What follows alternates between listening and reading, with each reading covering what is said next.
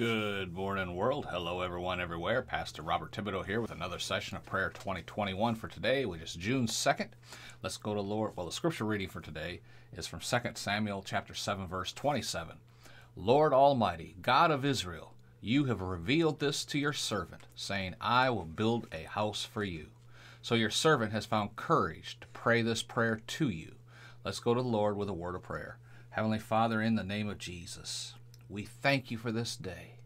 We thank you for the courage to face this day. Even though what we are facing is unknown to us, it is known to you. And we thank you that by the Holy Spirit's leading, you lead, guide, and direct our steps this day to accomplish all things for you in all things that we do. We give you honor, glory, and praise in Jesus' name. Amen and amen. Yesterday, we started to discuss exactly what are the greater works that Jesus told his disciples and us that we should be doing.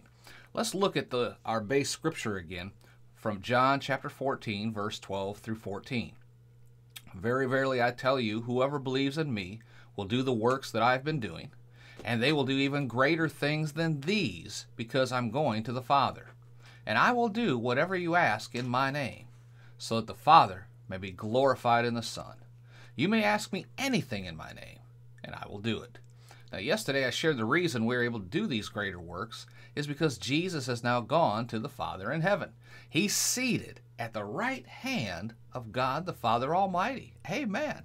Now, in John chapter 16, verse 7 through 11, we see where Jesus says, Very truly I tell you, it is for your good that I am going away. Unless I go away, the advocate will not come to you. But if I go, I will send him to you. And when he comes, he will prove to the world that they are wrong.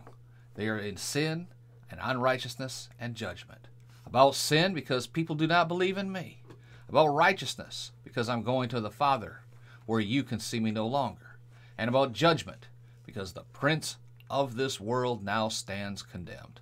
The greater works that we are supposed to be doing is getting more and more people into the kingdom of heaven by helping them to become born again. Amen. Ah, oh, don't shout me down when I'm preaching good.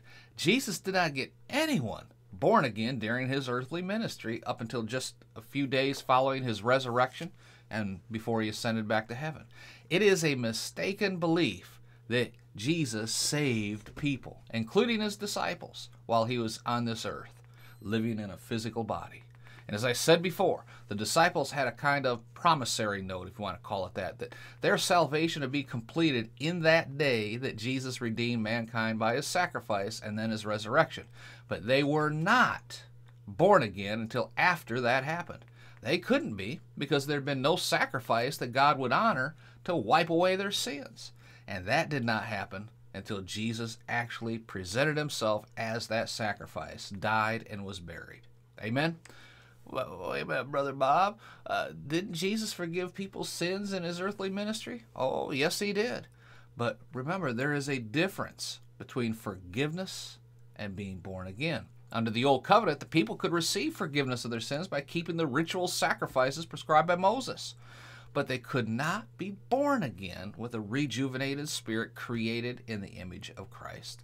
Their sins were only covered by the bull, uh, blood of bulls and goats.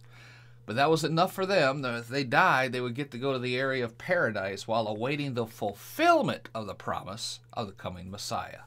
That is Jesus. Amen.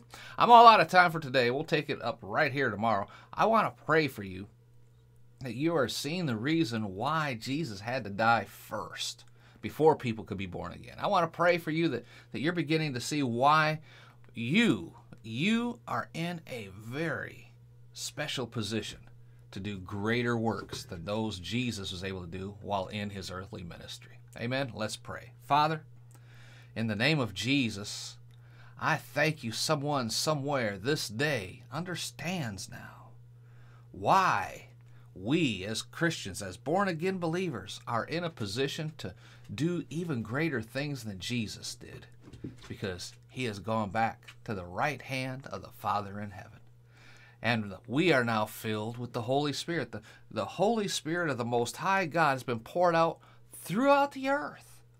Now, we are called Christians. That's Christ-like in nature. We are little Christians, little little Jesuses, if you want to call it that, all over this planet, take, capable of taking our place where we are at, where our feet are planted on this ground, and taking authority over the enemy and casting them out. Oh, thank you, Father, for wisdom and understanding in this. We give you honor, glory, and praise in Jesus' mighty name. Amen and amen. Praise God. Shout amen, somebody. Uh, do me a favor, leave a comment down below, leave a rating, jump over on iTunes, leave a comment and rating there. That all this really does help us get the word out. And be sure to visit our website, podcastforchrist.com. Download that free resource, How to Launch a Christian Podcast, right there on the front page. Till next time, it's Pastor Bob reminding you again from 1 Thessalonians chapter 5, verse 17, the Living Bible, to always keep on praying. Be blessed, folks. We'll talk to you again tomorrow.